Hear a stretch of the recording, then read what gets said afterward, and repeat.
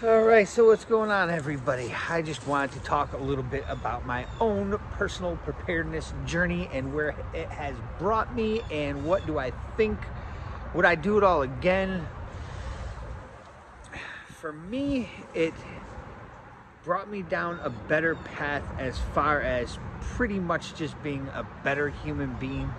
I seem to have grown up a bit a few years back or something not saying I'm fully grown up yet, right? I still, I still mess off. Everybody does.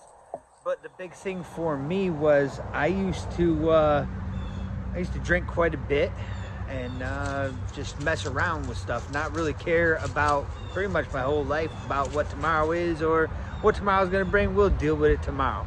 I still sometimes feel like that, minus the drinking part. My dog is just running around. my dog, the wife's fluffy little dog anyways, uh, for me, cutting down on the drinking definitely helped me uh, focus a little bit better, be more prepared as far as mentally, as far as my attitude with stuff. Um,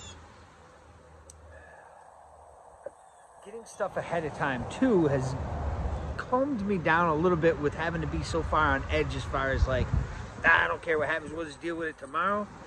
So I kind of, you know, I've been fighting for years, uh, different styles and stuff. Uh, it's a whole story. Uh, weapons, everything, and then got into the gun stuff. And that's kind of what seemed like, well, you have to be ready if uh, this or that happens. I'm always like, well, I've been in a fight before. I ain't too worried about it. Why would I ever use a gun? Well, what happens if? And then that's what gets you into thinking, oh man, well, what happens if? Well, wow, maybe I should, uh, it's windy. Maybe I should get some extra food if what happens if because if I have all these bullets and knives and every other stinking thing you can think of, but I don't make it to the next situation because I don't have any food. And my father uh, is a preacher man. He goes to Africa. He goes everywhere. He's made some friends out there. You know, he's been out to Europe a whole bunch of times. We live here in the U.S.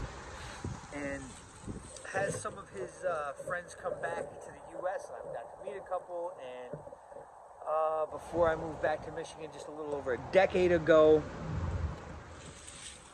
we met one of my dad's friends previous to this, but we met. You know, we got to see him again from Africa.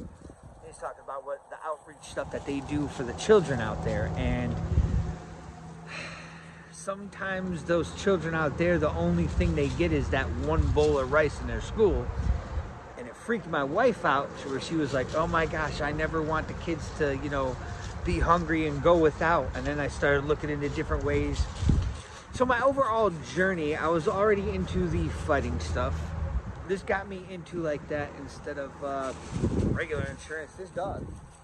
I got myself into like food insurance, right? I'm getting the extra food. Well, we already liked going camping and stuff, even though I lived in different ghettos and cities and everything, we'd still seem to go camping. Not as much the wife, uh, but I always liked something, you know. I, wanted to be outside all the time. I did a lot of fishing. I like to fish. Hunting's okay. It's kind of fun. Uh, more action with fishing, it seems like most most of the time, unless I was bunny hunting. So I, I like doing that once in a while because just everywhere. Bam, bam, bam, bam, That's a lot of fun for me. Um, but that all that stuff just kind of led me to well, you know, I'd like to live out on a piece of land myself someday and kind of homestead. Well, for now, I'll have to prepare for stuff in case there is an issue. That's how I got into the whole preparedness thing overall. And I would say, I would say overall, I would still do it again. Might have done some of the gun stuff a little different, but that was maybe getting swayed in all different ways. You know, just like with the knives. I've I've tried all these different knives. Um, maybe some I shouldn't have bought, just like with the firearms, just like with the, stuff you're gonna store. Well, I gotta buy a whole bunch of this because it says food rations. So the first thing I did was went out and bought a whole bunch of food rations and got into the mountain house and got that kind of stuff coming in, but it was like one piece at a time, or or maybe I'll go buy five of those food ration bars. Well, since then, obviously they've expired.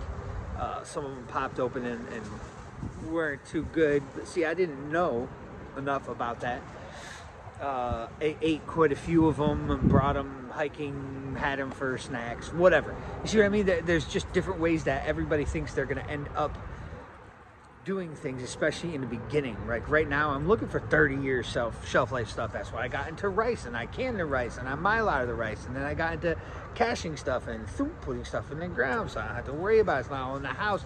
can't have everything all in one spot. So for me, it was risk mitigation. I don't know how you'd say that, but if one spot burns down your whole house and you have all your preps in it, you're screwed if you have half of a minute, you still have something. And I feel like that a lot of times with, you know, the, the financial stuff. I've always been kind of into stocks until more of late, the, the past few years. I, I, I, did a couple things, but I just, I'm. I've always liked the gold and silver and stuff, but I haven't really been doing much with that either. Uh, it's it, the preparedness journey for me has gotten me to maybe calm down a little bit and not react so fast and maybe think about stuff a few steps ahead of time instead of having to react right away i could dip duck a pivot two weeks in advance a month in advance or hey dog get out of here or banging into my stand or i could see these things coming ahead of time because i'm paying attention so i'm not worried about it when that time comes i'm not like in shock I would I would say to anybody overall, if you are just learning about stuff or you're just starting to decide should I do this kind of thing, you don't want to be paranoid. You don't want to be. I, have had some I've had some stressful situations with it. I would say, just because like oh man oh man I got to get this now before something happens. What if I, you know on one of the last ammo crunches or. Uh, uh, we couldn't get Augason Farms food for a little while. Uh, so I was like, oh man, we got to get something. Went over to Patriot Supply and got some. Um, or I just run and grab something at the store because look, I got the extra money on me right now, but why pay $12 for one mountain house? You see what I'm saying?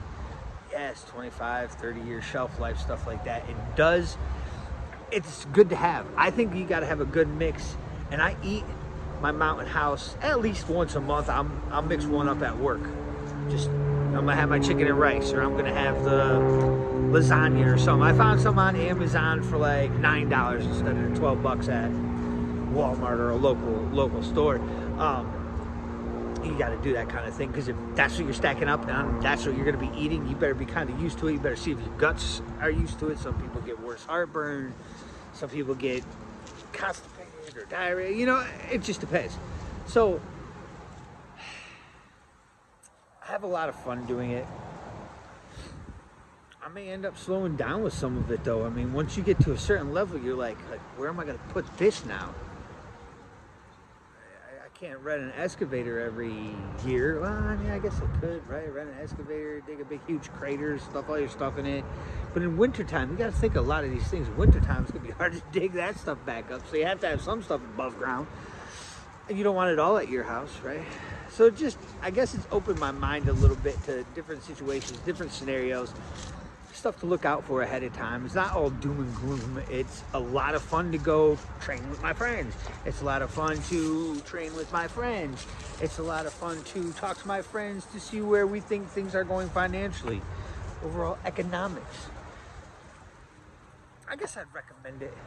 I guess I'd recommend it because every time something happens, oh, I got that figured out already. So it's like, I don't, I don't know peace of mind I guess it gives you. Yeah, I don't know. Get an emergency fund. Pretty much wiped mine out like two or three times in the past year. But what happens if I didn't have that? So now I'm in the process of building it back up again. It's only going to be a few grand or something like that, but now I'm having car issues. So if I had that full thing right now, I could just go get it fixed and rent a car while mine's getting fixed because it's going to be 10 days or whatever it's going to be. Overall, I do think it's a good thing, I would say.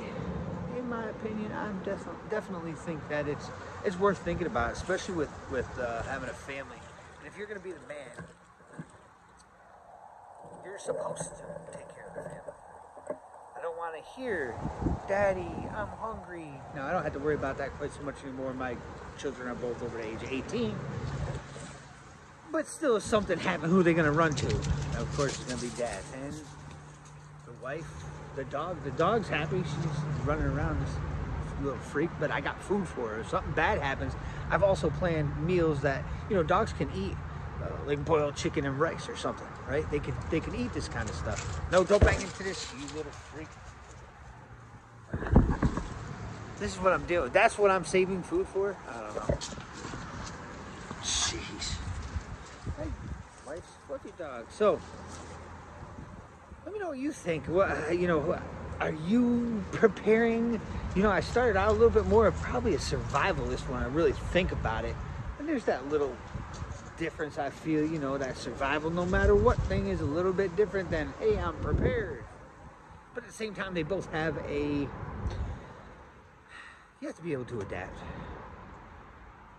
My overall journey so far, going this far now, this is pretty much, I was kind of getting ready with the survival equipment and some of the pew pew stuff uh, before that Y2K thing. That's when it all started hitting me. I had a buddy who was a little fresher out of the Marine Corps going, if it does go down, and that's why I started hearing stuff. I was like, oh no, maybe I should get something too. But I never really connected that I need food to get me to, yeah, or water in different ways.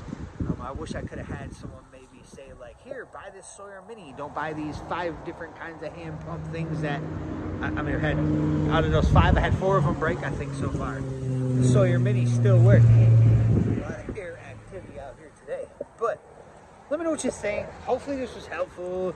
You could show it to someone who might still be not thinking of anything. It's all like a way to expand your mind, I guess you might say, right? You're definitely uh, using your mind in different ways. Do I look at everything as scary? No, I'm just kind of like, well, here comes this fight. Well, the taxes are going up. We knew that was going to happen. Well, it, right?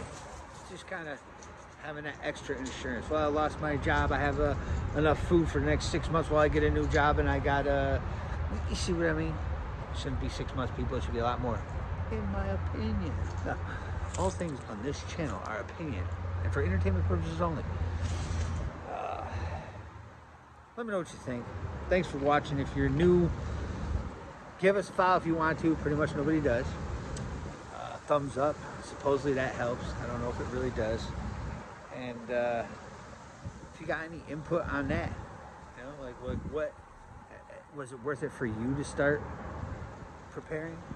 I mean, everybody's gonna know if something bad happens that it was worth it. Like, oh man, I'm glad I got a year's worth of food and all this water and a way to defend it. That, that, yeah, sounds good. I have more fun camping too now because now I can make it or I can do these like let's go out for the weekend with five items. No, no, no, three items. See, you can twist stuff up. So it doesn't really have to be camping. It could be also training, practice, learning your little bushcrafty, whatever you're trying to build or do. It's just more, that part's I think a little bit more fun for me. But this video has gone on too long. Thank you for watching. Have a good day.